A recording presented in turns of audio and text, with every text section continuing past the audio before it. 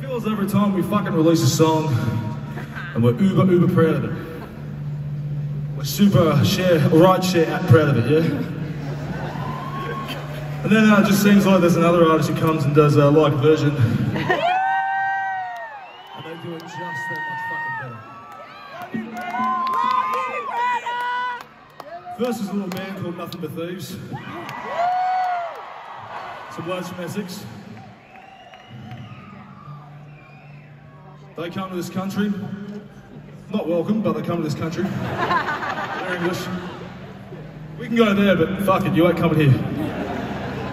Uh, no, it's fine, come here, I don't fuck. Um, and they do uh, What Can I Do With the Fire Goes Out, and they fucking nail it. to the extent where I can't listen to our version anymore. It fucking pales in comparison. But we got our revenge. They're great guys. We stole their guitar tech, and he's with us forever. So. Then, as if that fucking humiliation wasn't enough, they also supported us at our first headline show in London in 2014. And now they make more money than we could ever dream of. And as we fucking established on record and on microphone, it's all about the fucking money. And then, an artist named Odette came in. Who that? I never heard of her. And then she did Magnolia. And she fucking did it way better than I could have done. And she played the fucking piano to dance around, ripping off Beyonce. Upsetting all the cool kids.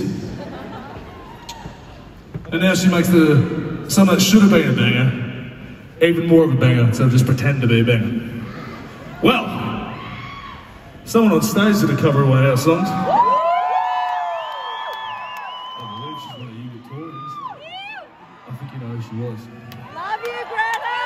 She's on stage. Just wouldn't be fucking right. So, wouldn't be fucking right to play this song without Miss Gretta Ray.